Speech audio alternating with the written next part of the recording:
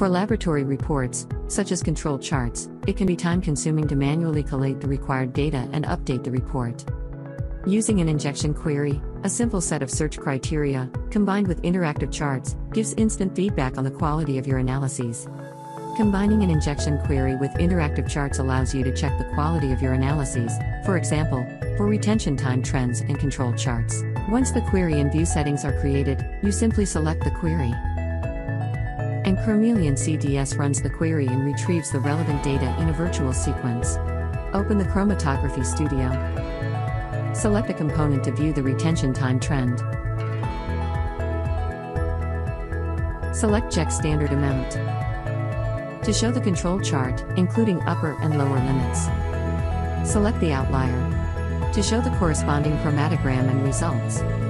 Quickly and easily visualize the quality of your analyses using injection queries and interactive charts.